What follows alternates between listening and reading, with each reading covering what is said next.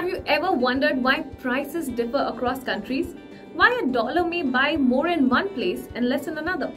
Let's unravel the concept of purchasing power parity and how it explains these differences. Purchasing power parity is a theory that compares the value of currencies based on the cost of living and inflation rates in different countries.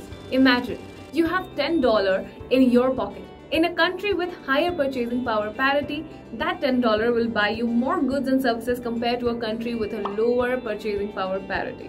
It accounts for differences in prices, making currency comparisons more meaningful. Purchasing power parity allows us to understand how much currency is worth in terms of what it can buy, regardless of the exchange rate.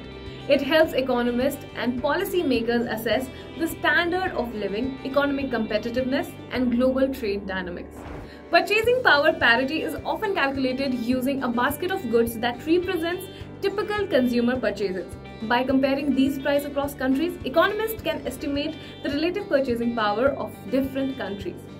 It's important to note that purchasing power parity is a theoretical concept and doesn't fully capture all economic factors. Exchange rates, government policies, and market forces also influence currency value. Understanding purchasing power parity helps us grasp why prices can vary from place to place, providing insight into global economics and our purchasing power across borders.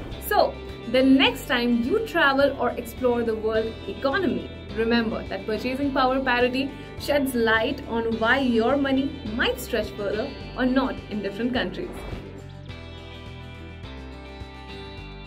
Investment in securities market are subject to market risk. Read all the related documents carefully before investing. For more information, visit kuvera.in.